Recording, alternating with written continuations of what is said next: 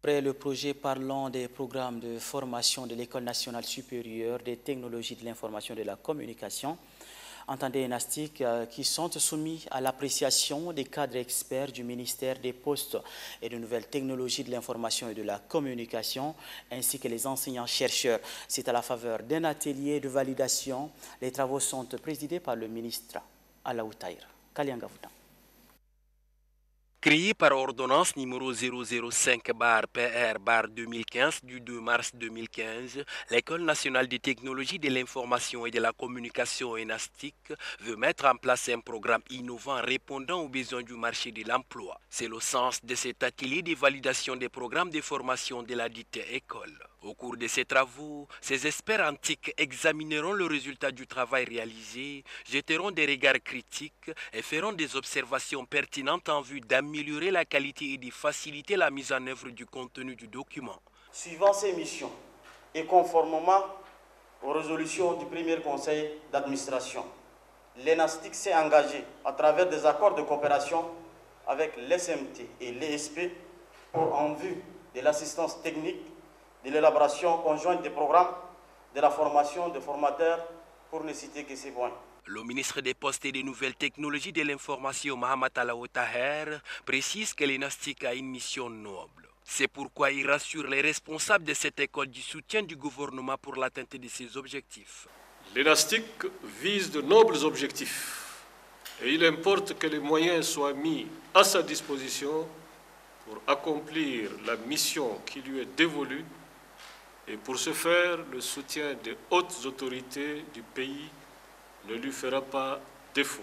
Son Excellence, Monsieur le Président de la République, Idriss Déby Itno, pour qui les technologies de l'information et de la communication doivent constituer un des socles sur lesquels le développement de notre pays doit se fonder assurer la formation initiale et continue des cadres du secteur public et privé dans le domaine d'éthique et former des jeunes à la culture scientifique afin de les rendre aptes à élaborer et apporter des projets structurants appuyés aux TIC sont entre autres les missions dévolues à l'ENASTIC.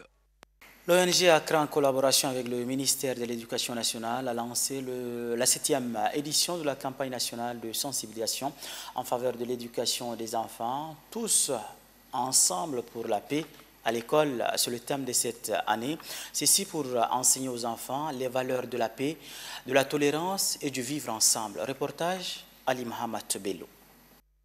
Je déclare lancer la campagne de sensibilisation sur le thème Tous ensemble pour la paix à l'école. C'est parti pour la septième édition de la campagne nationale de sensibilisation sur la scolarisation des enfants, une initiative de l'ONG Accra. Tous ensemble pour la paix, telle année les leitmotiv. Comme la richesse culturelle, religieuse et ethnique du Tchad crée des stéréotypes et des préjugés qui mettent en mal la cohabitation pacifique, le thème de cette année appelle au vivre ensemble, à la paix et à la tolérance. Le Tchad rêve grand et à ce titre, l'école doit être porteuse de bonnes valeurs. Cette campagne qui se déroulera jusqu'au 31 octobre a pour objectif de sensibiliser à la scolarisation et de conscientiser la communauté sur l'éducation à la paix et à la cohabitation pacifique en milieu scolaire, car la discrimination et la violence en milieu scolaire, c'est améliorer l'accès des enfants à l'école et former les citoyens de demain. La scolarisation des enfants occupe aussi une place importante. À la veille de la rentrée scolaire, le moment apparaît opportun. C'est l'occasion d'exhorter les parents à envoyer massivement leurs enfants à l'école.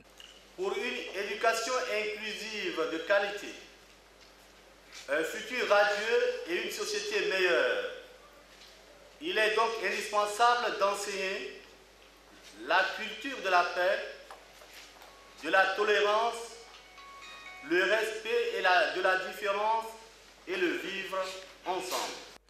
Le droit à l'éducation est un droit fondamental et le Haut Commissariat des Nations Unies pour les réfugiés en sait aussi quelque chose.